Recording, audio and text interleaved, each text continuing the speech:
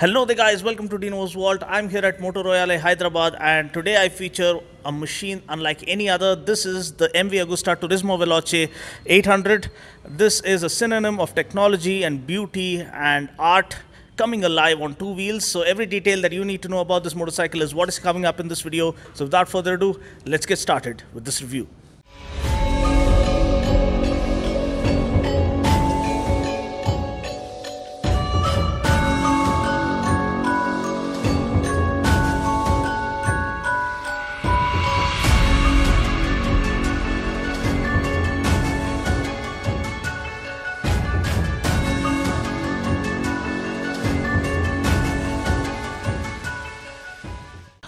Imagine the speed and precision of a supersport, the flickability and maneuverability of a naked bike, and the comfort and stability of a tourer, all combined in one stunning looking machine that looks like an art form sculpted to perfection.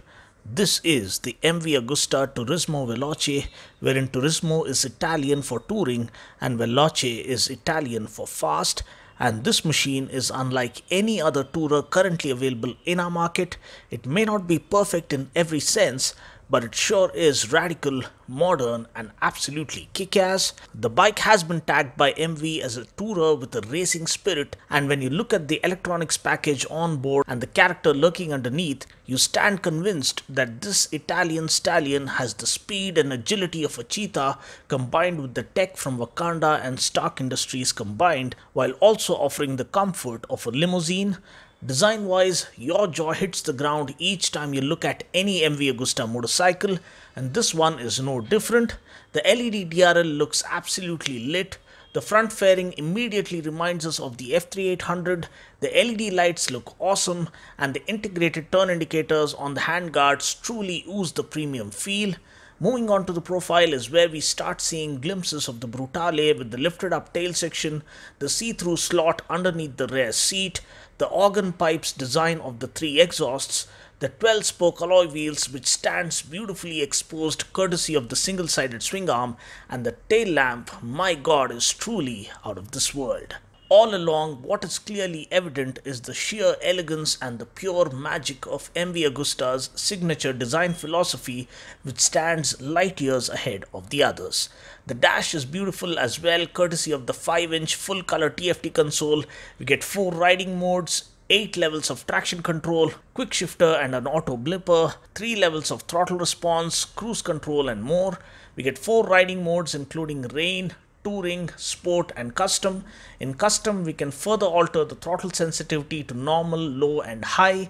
We also get adjustments for the engine torque, the engine braking, engine response and RPM limiter. The ALS steel tubular trellis frame for the Turismo is derived from that of the Stradale 800 but with revised steering geometry.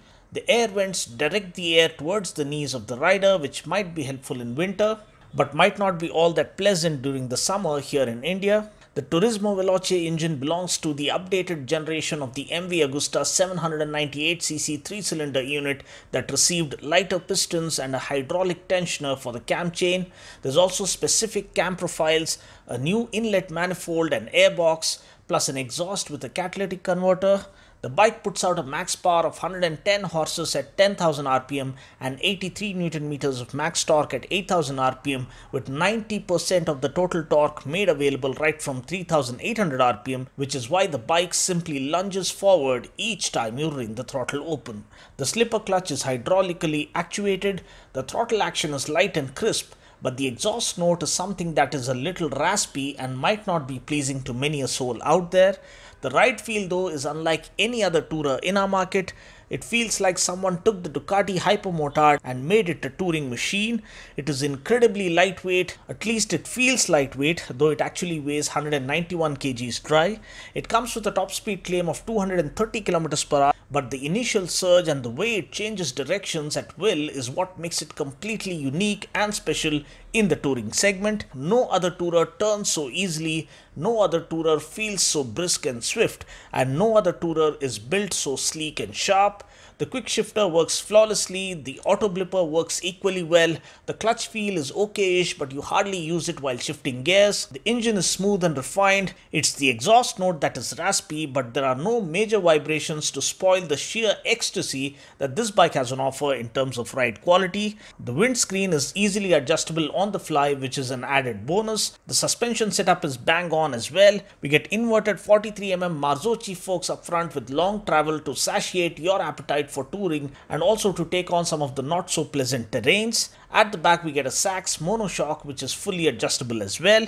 The brakes are good too. We get dual 320mm discs up front with radially mounted 4 piston caliper from Brembo. At the back we get a single 220mm disc with 2 piston caliper from Brembo as well.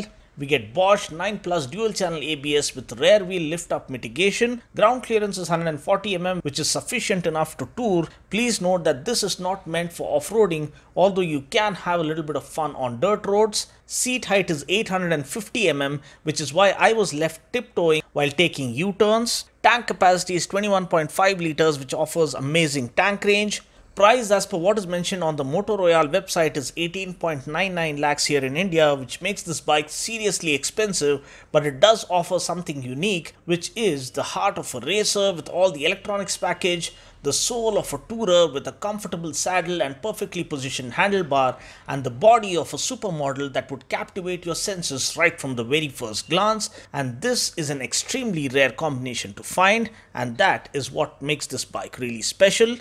So that's pretty much it. This wraps up my review of the Turismo Veloce 800. I just hope you found this video useful. Until next time, this is Dino saying ciao, take care, God bless and ride safe.